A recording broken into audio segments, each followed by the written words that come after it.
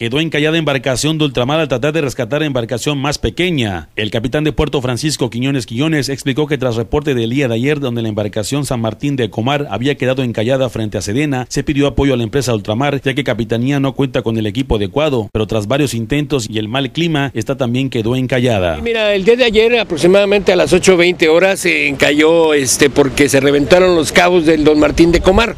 Se vino a la costa y nos avisó, nos avisaron, aparte que se dio cuenta la torre de control, nos habitó protección civil. Llegamos todavía aquí, pero no pudimos evitar que se, que se llegara a tierra.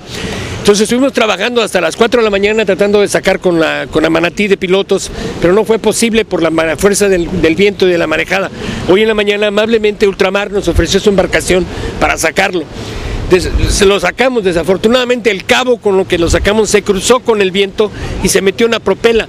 Entonces ahora el que se empropeló fue el rescatador y se vino, entonces le metimos la, el, mismo don Martín lo aguantó para que llegara suave a la, costa, lo varamos en una varada controlada con la popa afuera y luego ya tuvimos que quitar todas las embarcaciones que nos estaban estorbando aquí.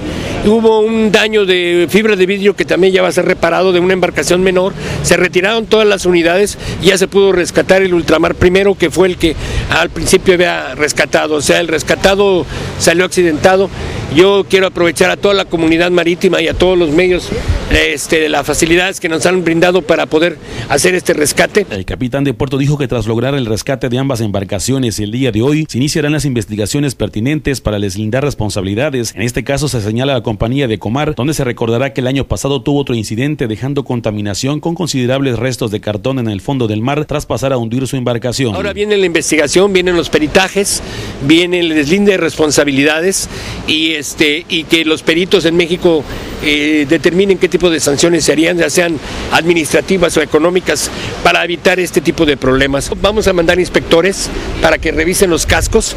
Eh, tengo de primera instancia noticias de que no hubo vías de agua, no hay daños, ni en propelas, ni en timones, ni en cascos porque todo el tiempo las varadas fueron a baja velocidad. Sí, las condiciones también eran las, no eran las propicias para hacer el rescate, sin embargo, eh, anoche, sin embargo, siempre en primera instancia es cuando se debe hacer, porque si no hace cama, la embarcación hace cama. Entonces hay que aprovechar siempre las primeras horas para que no se enquille el casco del, barco.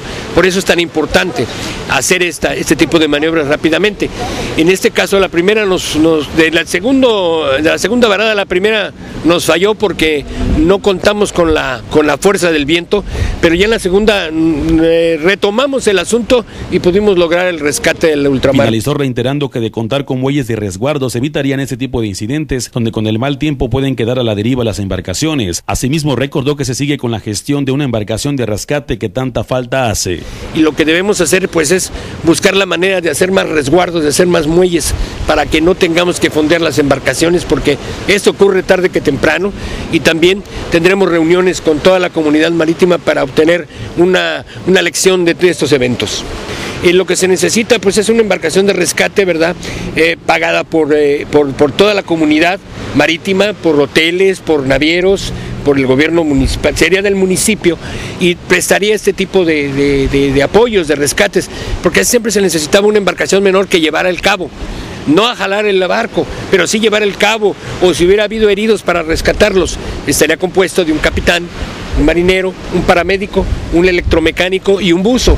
Esos serían los cinco, sería la tripulación básica para este tipo de eventos. Y seguimos trabajando en ello desde el, eh, perdón, desde el trienio pasado del municipio ya tenemos ese proyecto, está en papel, ahora lo queremos volver de metal, ¿no?